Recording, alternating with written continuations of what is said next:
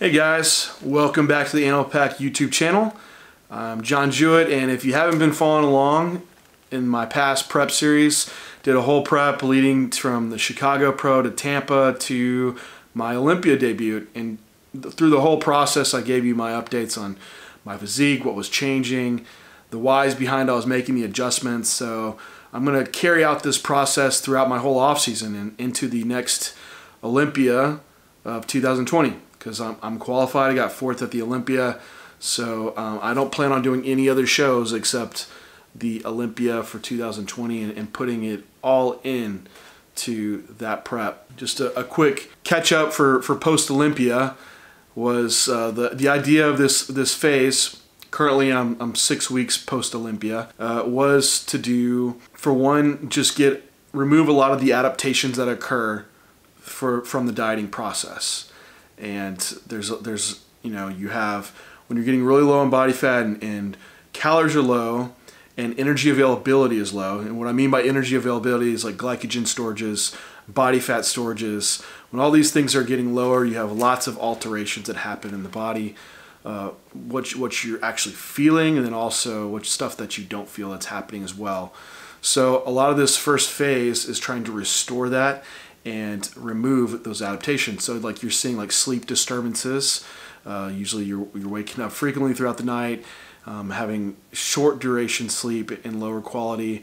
There's derangements in the GI tract. Usually GI tract slowing down a lot since energy levels uh, are low, calories are low. Your body's trying to hold on to this food as long as it can, and uh, then you're having changes in energy level, changes in mood disturbances uh, food focus, there's psychological changes that are happening on, on prep, decreases in training performance, and then you have like all the blood chemistries that are getting altered as well. Because whether you're natural or you're enhanced athlete, there are going to be alterations to your your blood uh, blood profile and health markers that are going to happen along the way.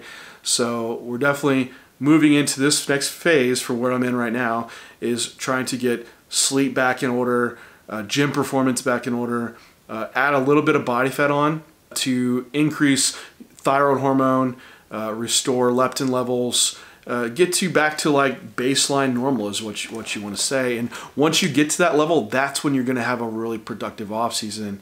And it's also vital in this phase too that it's done appropriately. You don't add too much body fat on quickly, and then you're you're left in uh, an already poor position to make further progress for the remainder of the year. So that's where I was for this phase. So coming out of Olympia, uh, been raising food up slowly over these weeks. Uh, just got some blood work done and everything looks really good in order. So everything looks like what it was deranged on prep has come back in within range.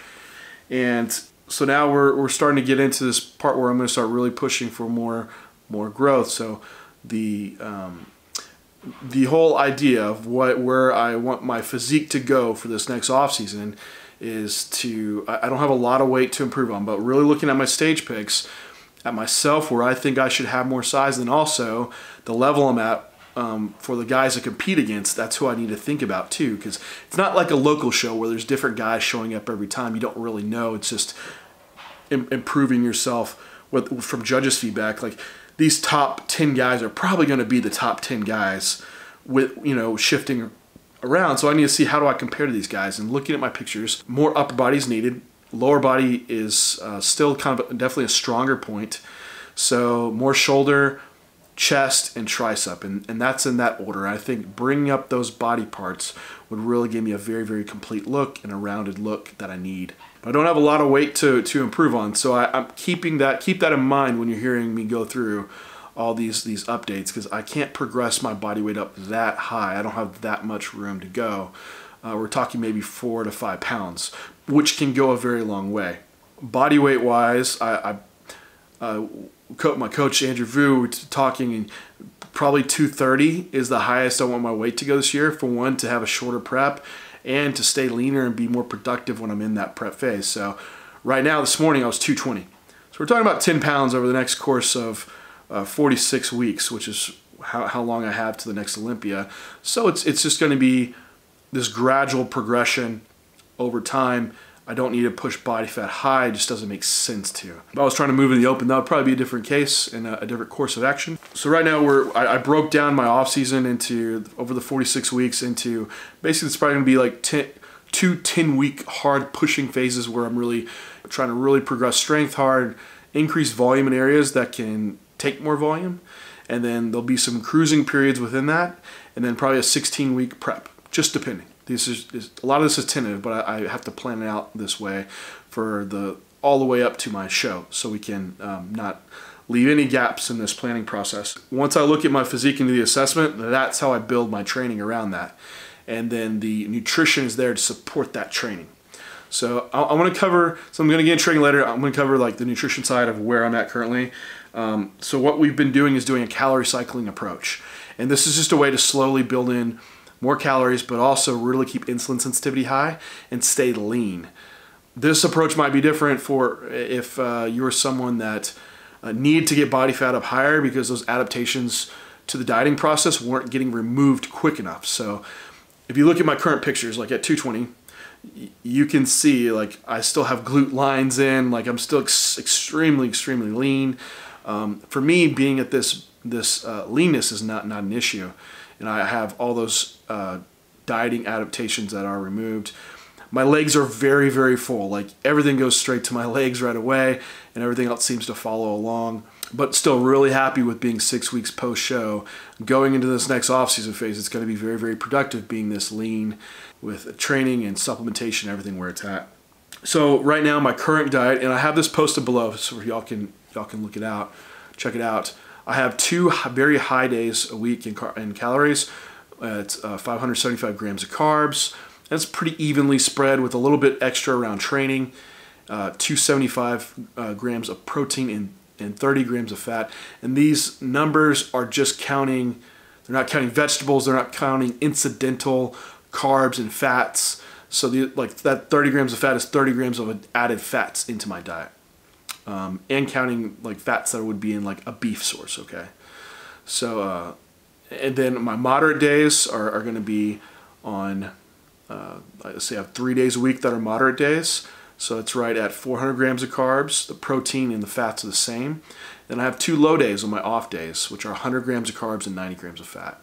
And those those are uh, a very large reduction in calories. I think it's like 1,400 calorie reduction. But doing this all throughout the Olympia, like uh, I, am very well fueled for training, but then I, I can get back down to this uh, little bit holding less water on my off days and more sensitive state before hitting another high day. So it's been really, really effective. And this is structured uh, strategically. So how I set up my training to improve my body parts and is to have a pull day, a push day, then my leg day and then I take an off day. Then I do a pull, push, and another off day. So I'm training legs once a week. So that high day is going to be on my pull days. So I have a high day on a pull day. That's going to carry over into my push day, which is area I'm still trying to work on.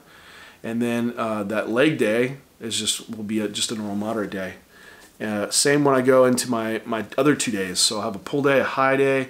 That that is going to carry over into my push day because I train in the morning. So um, when planning out a high day, think about what time you train and what you want to put a lot of fuel into. So for my pull day, I have two meals before I go train. So I'm not, and I'm coming off an off day. So I'm not fueled completely. Like I have plenty of, of glycogen carbohydrates for training, but then the all those carbohydrates following training are going to aid in recovery and get me uh, really full in glycogen and primed for my push day. And so that's why we have the high day set up on my pull day to carry over into my push day. Now this would be different if I trained the afternoon. I'd probably do the high days on my push days and maybe on my pull days have like the last two meals be uh, higher in carbohydrates. And so think about that when you're planning out your, your diet and how you want to do your nutrient timing and structure high days around it.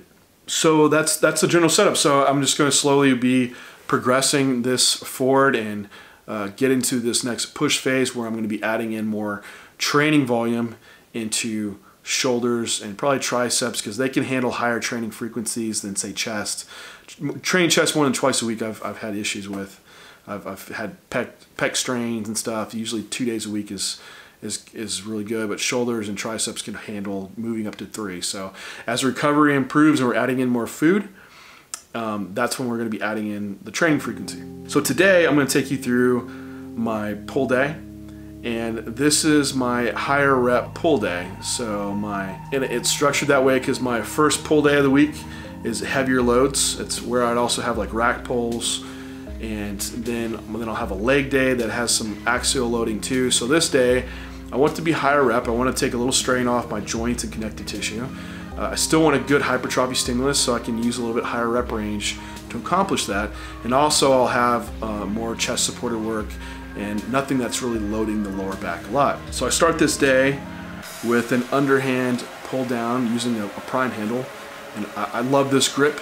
It, uh, the, the, supination of the handle really allows your, your elbow to tw uh, twist in just horizontally uh, uh adduction.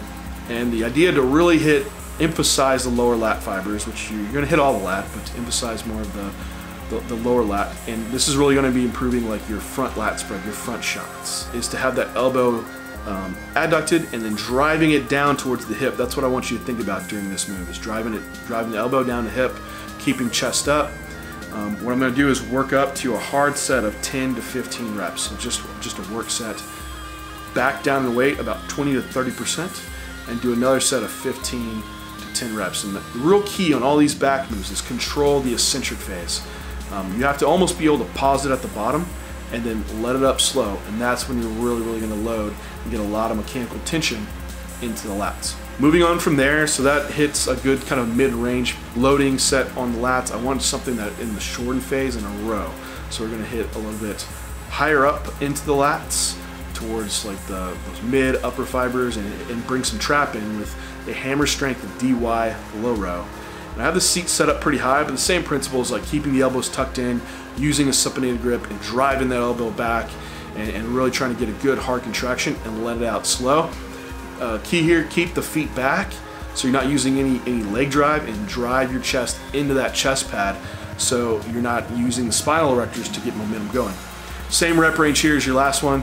Hit a set of 10 to 15, back down to weight, hit a set of 15 to 20.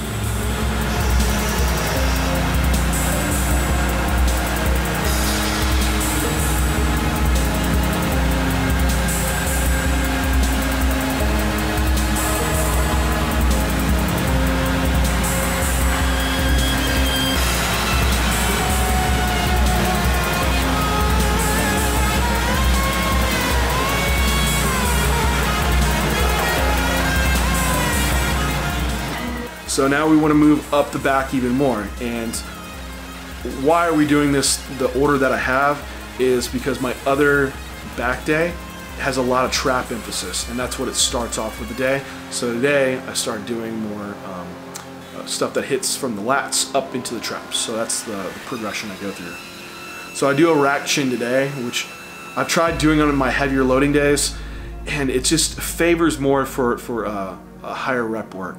And with the rack chin, you want your feet set up on a bench so you could add plates to your lap. It's also much more fixed than a standard pull-up, so you, you can concentrate on applying tension to into the lats and teres major where you want them. And so this is what this this one's really hit the teres major more because you're going to keep your elbows flared out and just pull up until your top your, your like your eyebrow level.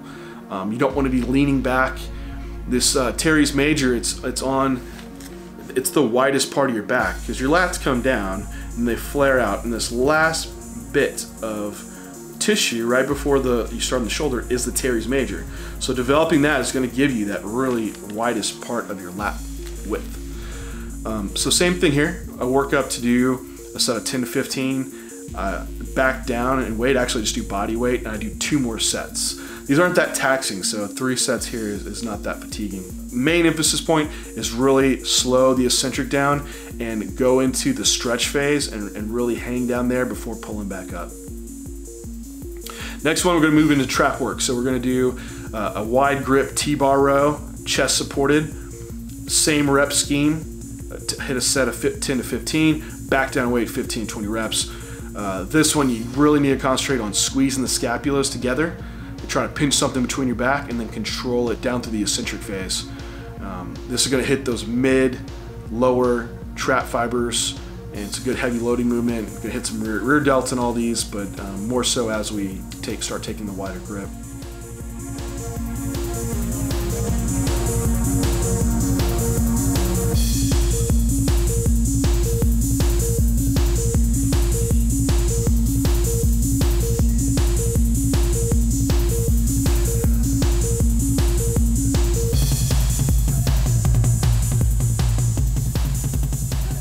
And then now from there we're going to go into more even more focus for for traps upper back and uh, the top part of the of of trap itself. And I do a superset and it I've never been huge on doing a lot of shrugs because I have a little bit narrow clavicle. So if you have a narrow narrow clavicle the trap develops really quickly and can take away from your width. However um, I, I, think I could I need the trap development especially in that upper to mid uh, area so what I'm doing is a face pull, chest supported. So I'm not going to be able to use any momentum. It's very fixed. Spreading the straps that I'm using, or you could use a rope to, to really emphasize the rear delts.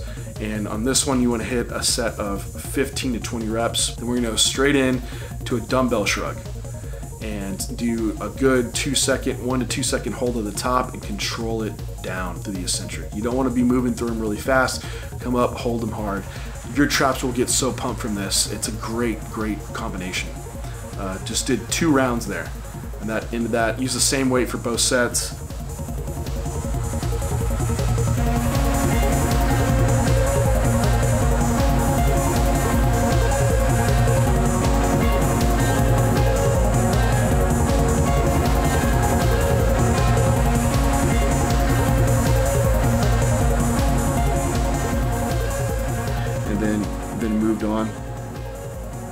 Isolation for rear delts. I did a pec deck drop set, so get straight to the point on it, um, hit a set of, of 20 reps, dropped weight, and then just went to failure again. And that was it for rear delts.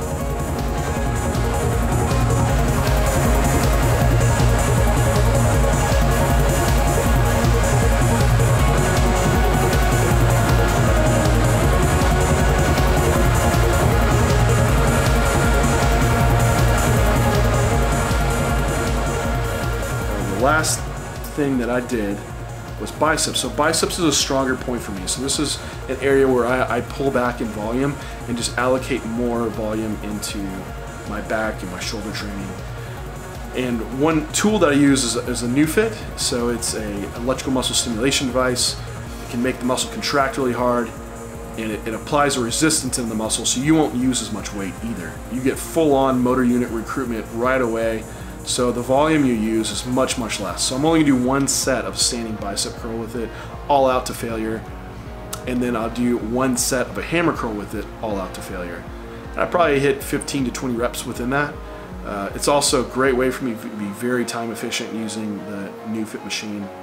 And it, it's a great place to use it if you ever get little, little nicks and nags and muscles that just don't feel right. So sometimes my bicep tendon has been getting a little bit inflamed um, right where it comes down close to the forearm.